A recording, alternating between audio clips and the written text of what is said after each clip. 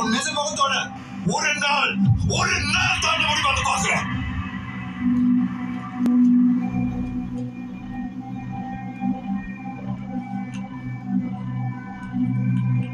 thank you